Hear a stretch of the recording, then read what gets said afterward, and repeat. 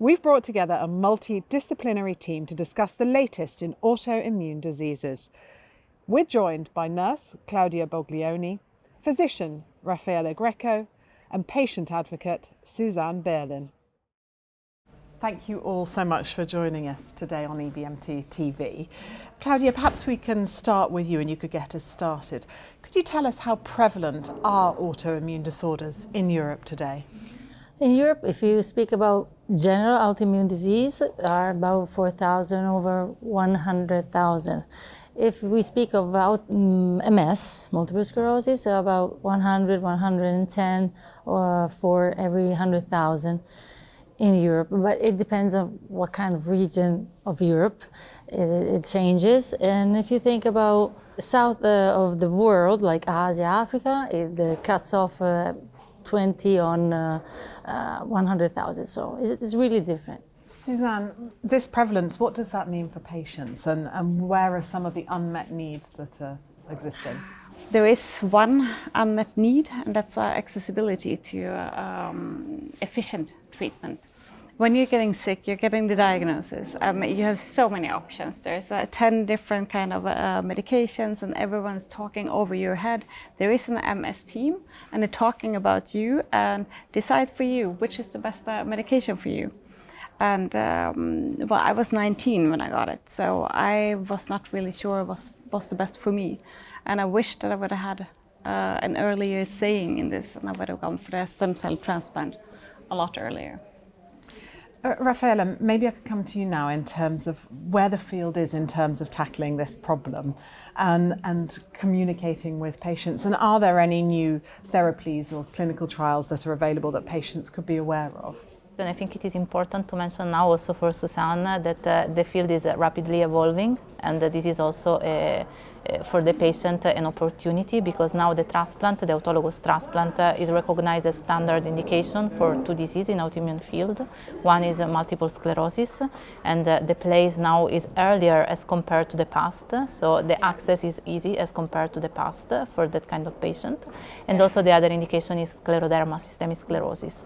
And also uh, we are entering in a new era with new drugs, for example CAR T cells, so other cellular therapy that are really promising, and I think this can be also another great opportunity for the patient. Uh, what we would like to do in EBMT and particularly with autoimmune disease working party is to be more and more in connection for the next future also with the patient community because we think that uh, outside of the common endpoint that we generally use as physicians and nurses in the trials, it is important to underline the patient feelings about the treatment. Yeah. And uh, I think this is uh, one of the first steps uh, to move also in your world and trying to be more connected for the next future. Claudia, let me come back to you. What are some of the ways that transplant nurses are innovating in the field to enhance the outcome for patients? The role of the nurse is, uh, is a key because it, it, has to educate the patient to all the treatment because it's a life-threatening um, treatment. So these kind of patients need to be guided and uh, transplant nurses uh, are formed to, to treat those. Susanne, could you frame for us how patients should be guided through advanced treatment options uh, from your perspective as a patient advocate? And, and, what improvements would you like to see in the way that's being done? Well, information is key.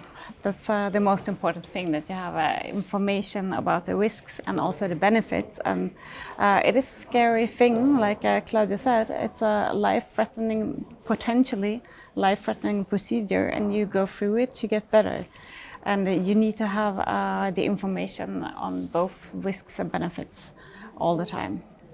And do advocacy groups play a part in that support of that as well? Yeah, uh, we're very active also on uh, Facebook groups and uh, giving information as much as we can. And I'm getting called up a lot. Like uh, I have a friend who's uh, having MS. Can you, could you please talk to her? And then you just uh, guide them through the options and uh, what they want to do.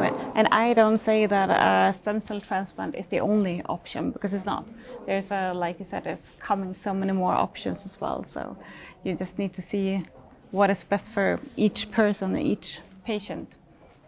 Raffaella, let me come to you now and turn to the EBMT Autoimmune Diseases Working Party itself. Can you tell us what role the Working Party plays in advancing research, clinical practices, and also education in this field? I think that the autoimmune disease working party in the EBMT is quite peculiar. Uh, it's uh, something unique I can see uh, also in this field worldwide because it's able to make a collaboration and fostering research, education and science across different specialties. We have healthcare providers from one side, so physicians, nurses, physiotherapists and other figures involved in the cure of the patient and on the other side the patient that are involved too.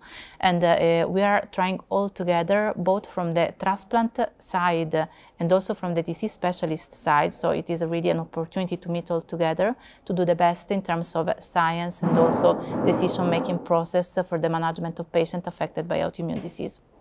And I'd just like to finish with all of you by asking really what's your sort of vision or hope for the future? If we meet in two years' time or maybe in a decade, where would you like the field to be in terms of collaboration, but also the communication with the patient. What would it be? Raffaella, let me start with you and Claudia, and then I'll finish with you, Susanne. I think the first step uh, is also, as Susanne is mentioning, the access uh, for all the patients across the different countries, uh, because now we have provided guidelines for the Europe, and we would like to reach also the additional countries to be all aligned on that.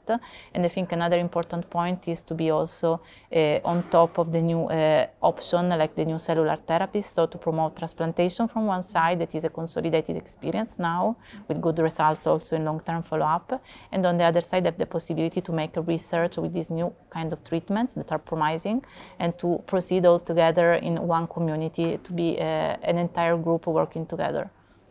Uh, nothing more than uh, what Raffaella said. Uh, we uh, personally don't have experience with uh, other therapies, uh, but um, I've been working in the bone marrow transplant in, since 2006 and I saw so many changes and I'm happy about it. So.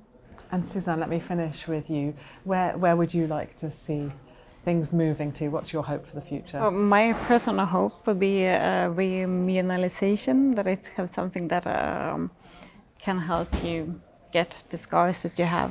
If stem cell transplant bring it to a stop, you're in remission, but you still have like uh, scars that you had for 15 years, many people with MS. Thank you, all three of you, for joining us today on EBMT TV. Thank you. Thank you. Thank you. Thank you.